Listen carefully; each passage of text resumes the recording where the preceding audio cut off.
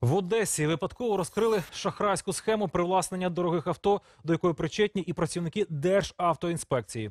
Зробив це киянин-підприємець, який перед від'їздом у зону АТО здав в оренду свій автомобіль. Новий орендар, що відгукнувся на оголошення, заплатив гроші за тимчасове користування і того самого дня відвіз позашляховик в Одесу. Там за кілька годин авто перереєстрували і навіть встигли причепити одеські номери. Далі Сергій Осичук. На позашляховику Олега Оженка досі висять одеські номери. Чоловікові тепер потрібно через суд доводити, що він і є власник авто. Позвонил человек, э, спросил, э, там, сдается ли такая машина в прокат. Вот. Перед этим я дал объявление в газету. То есть на тот момент, когда я ушел в армию, я оставил автомобиль, э, э, он периодически сдавался в прокат. Вот. И за счет этого жила семья. За кілька днів Олег через устаткування, яке слідкує за авто, побачив, що його позашляховик стоїть на невідомій стоянці. Коли його одеські друзі приїхали туди, на автомобілі вже не було київських номерів. И я сразу же заблокировал автомобиль перед тем, как идти в райотдел. И уже после райотдела я выехал на Одессу. В том, что э, его пытались переоформить, я узнал на следующий день. Когда пошел в милицию уже в Одессе. В милиции оказалось, что автомобиль переоформлен на жителя города Одессы. Жителем Одеси виявився Денис Кольцов. Про те, що тепер він володар елітної машини, чоловік дізнався від минулого власника. Денис розповідає, тиждень тому він загубив паспорт.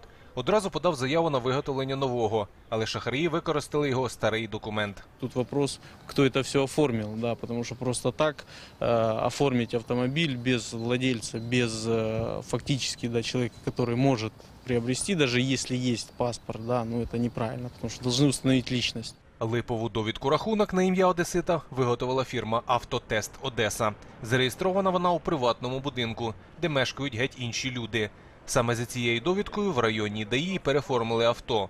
Але вже після того, як Олег звернувся до міліції, там визнали, що документ підробили. Проведеною перевіркою управління ДАІ в Одеській області встановлено, що матеріали, які стали підставою для видачі довідки рахунку, можуть містити ознаки підробки. Ніяких додаткових коментарів у ДАІ не дають. Тут е, ми вбачаємо якби службовий підлог, підроблення документів, е, шахрайські дії, направлені на заволодіння чужим майном.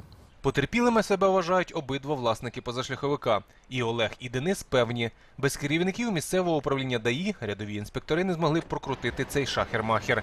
Їхня машина, підозрюють, не єдина в цій схемі.